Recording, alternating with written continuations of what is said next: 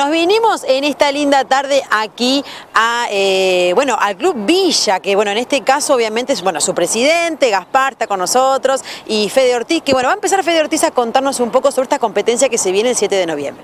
Hola, buenas tardes, ¿cómo andan?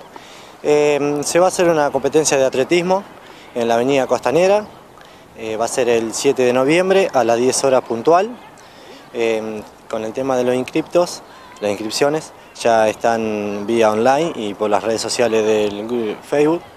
Eh, se va a hacer dos distancias de 4 kilómetros y 8 kilómetros.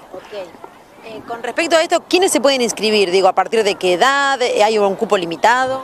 A partir de los 11 años, eh, con constancia de los padres. Hasta los 19 sería la categoría, menores de 19 años. Después la categoría iría en 10 en 10. Y el tema de los inscriptos sería libre, elite y amateur, los dos. ¿Y esto tiene un fin competitivo o es más bien recreativo? La 4 kilómetros sería recreativo, participativa, y la 8 kilómetros competitiva, que hoy estamos justo estamos mirando el tema de los inscriptos y hay chicos de La Plata, Luján, eh, Merlo, sí, gran parte de Rosario, tenemos mucho inscripto, la verdad que eh, hasta ahora es un éxito ya con solo el tema de las inscripciones.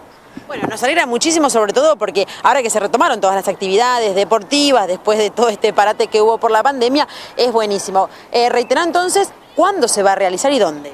El 7 de noviembre, domingo 7, en el balneario municipal va a ser la largada hacia la avenida Costanera y en la calle Rey Bagliati y avenida Costanera se va a pegar la vuelta, que ahí serían dos kilómetros, una vuelta, cuatro, y dos vueltas lo van a hacer de ocho.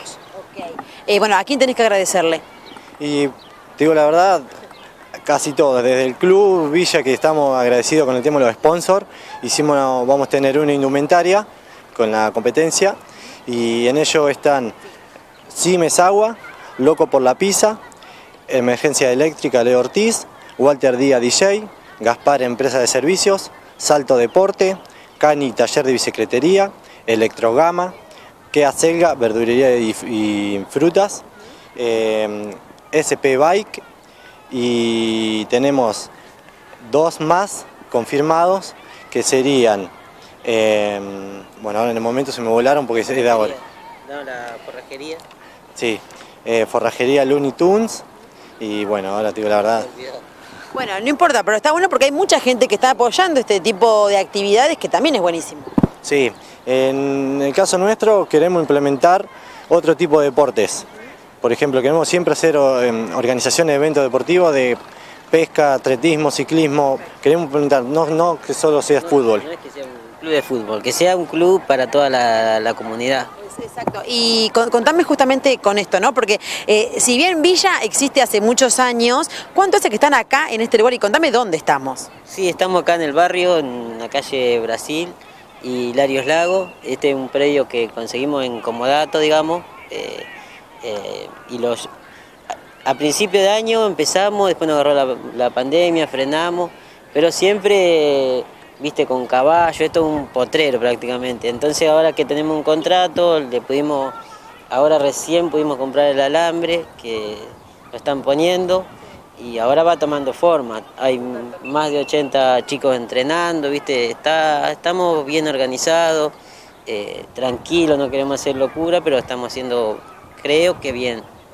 La verdad que felicitaciones porque está quedando muy lindo y eso que decían, muchos chicos asisten a este club. Sí, sí, por suerte cada día más y, bien, vienen siempre, porque el problema que teníamos antes que venían, después se iban, era como que era pasajero.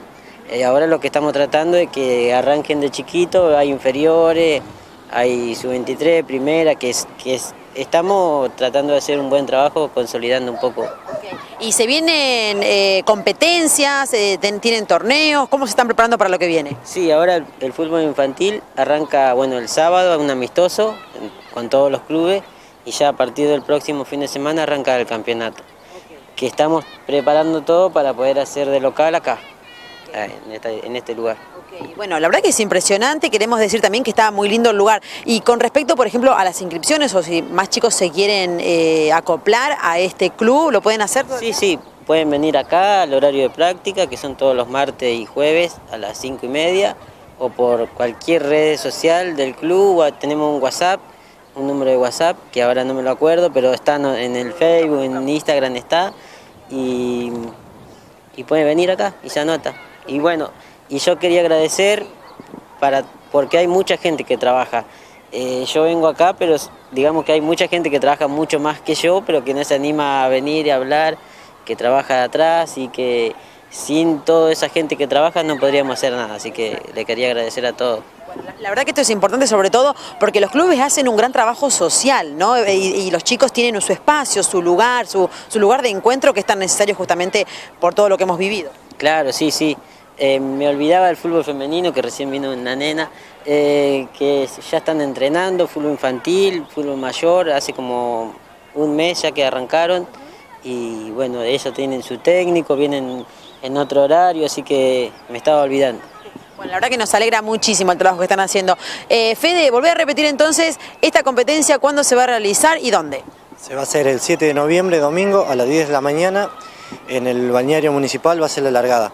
Y quería agregar a tres sponsors más que me olvidé y a la dirección de deporte que nos eh, confiaron en, nuestro, en nuestro evento. Sí.